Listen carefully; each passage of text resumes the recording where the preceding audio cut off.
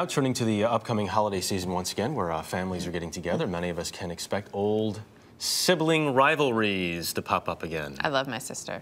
Plus, I I'm love not my going to see her this year. Yeah. our sibling relationships are all different. Of course, they last our entire lives, and also because brothers and sisters know each other in a very special way. I have a younger sister. I'm right smack in the middle. I am the baby of the family. I'm the, the youngest by over 10 years. The favorite growing up, I mean, I'd have to say me, right? I would say she was probably the favorite because she was the girl. my brother got out of trouble all the time, and that was sort of the indication that he was my parents' favorite. I think my mom and dad would like to say that they love all of their children. Do I have rivals with my siblings? Yeah. Sure. When I talk to them, which isn't very often. I wouldn't say there's competition with each other. There's drama, don't get me wrong. there's always drama. She was always this annoying little thing that was kind of following me around. Uh, now she, uh, I think we've grown closer as we've gotten older. I think my parents are now have treat themselves like the favorite.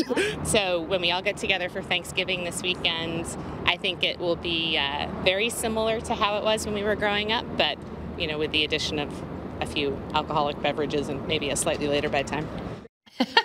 That's pretty much all you add to it, right? Joining us now is Time Magazine senior editor and science writer Jeffrey Kluger. Uh, he wrote a book on it called The Sibling Effect, which is a fascinating look um, at, at, at how brothers and sisters interact, and not just today, but, but in history. Jeffrey, good morning. Good morning. Thanks for having me. Um, is it when, when we all get together again? Is, is it like we never left again? Absolutely. We may have grown up, decades may have passed, but keep in mind the foundations for those relationships, like the foundation of a building, were poured 30 and 40 years ago. You may build on top of it, your life circumstances may change, but you are the same people that you were many years ago, and when you're together, those old dramas will get played out. How much of the person that you are and the relationship that you have with your siblings is determined by your birth order, by your development? Well, birth order is a huge factor, and this is one of the areas in which lay people, all of us, came to this realization even before scientists did. So it- when parents observe that middle sibs tend to be a little more lost in the thickets, tend to have to, to fight for attention more, that older sibs, the oldest, tend to be more striving and serious, and the youngest tend to be the wild children, the most charming and dis- disarming and charismatic. Those patterns do hold, they are very real, and they're ways that kids work to maximize the power of their position. They almost always hold these patterns. They do. too. It It's is- pretty it is- incredible. It is uncanny how they hold.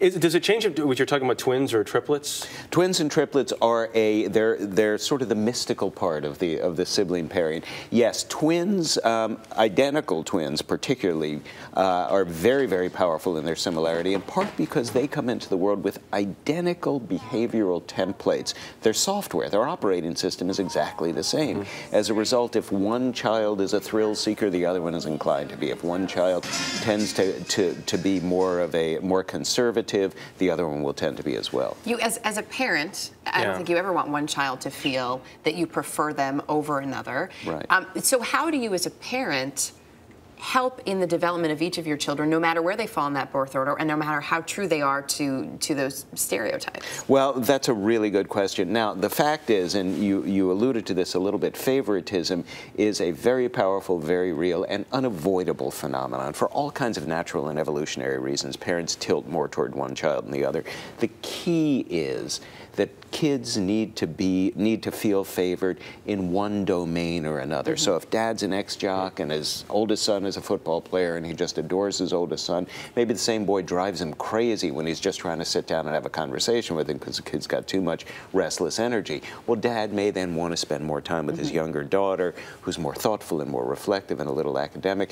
Over the course of a childhood, the son may still have been the favorite, but not by much, and the younger daughter still feels like, in certain domains, I was dad's princess. And we, we, we don't have much time left, but, but I mean, parents have to pay attention to it, but, but the kids can too, the siblings themselves, so they understand the dynamic. Absolutely, and you have to be mindful of that. And this is a good thing that comes with, with getting a little bit older. Once you get past the point of thinking to yourself, one day my little brother is going to change and isn't going to hog the conversation. one day my little bigger sister is, is going to change and isn't going to be so moody. Once you get past that and say, these are who they are, just as I'm who I am, and I can move around and work through these things and love them despite their shortcomings. A lot, a lot of good experimentation coming up on Thursday for families. Now they can take this It's information a with them. real-time social experiment. Nice to have you with us this morning. Thanks for coming in. Thanks for having me.